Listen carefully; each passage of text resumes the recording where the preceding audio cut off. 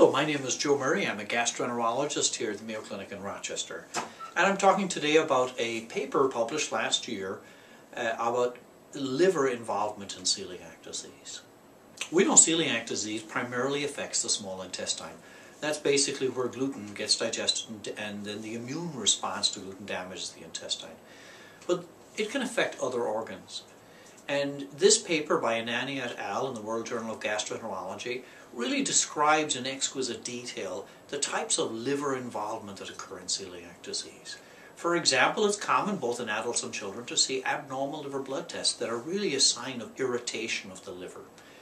But there are also more serious problems, what's called celiac hepatitis, where celiac disease can cause quite substantial irritation or inflammation of the liver. Beyond that, there's also the possibility of associated disorders. That is, people have a genetic predisposition to celiac disease, also may have a genetic predisposition to other autoimmune disease. Autoimmune hepatitis is one, and also primary biliary cirrhosis.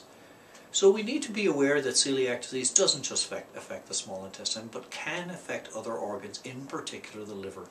So when seeing a patient with abnormal liver blood tests, even if they have no history of celiac disease, consider that among the possible causes of those abnormalities.